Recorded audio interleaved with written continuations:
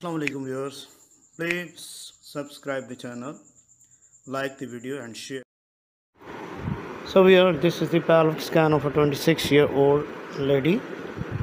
She has first baby that is female. Now it appears to be male, rather clearly male. BPD and HC is at 35 feet plus. Scar thickness is very much reduced, that is about 1 millimeter. There is cord around the neck. Viewers, please watch the video till the end. You will get a lot of information regarding gender determination and SD cord ratio. See the cord around the neck. Cord around the neck is always there between the neck and the shoulder. Please like the video, share the video, and subscribe the channel. We used to put the Doppler color to see the cord around the neck. This is the abdominal circumference that is also at 35 week plus.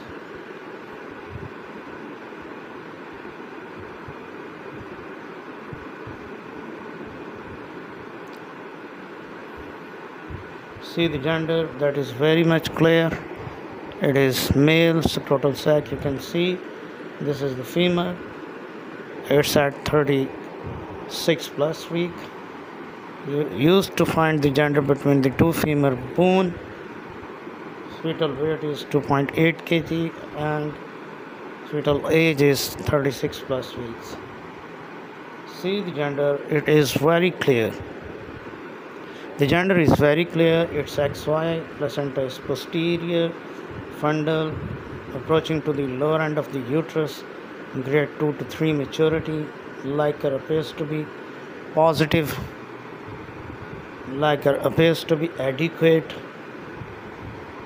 SD cord ratio is about 2 systolic or diastolic blood flow ratio is about 2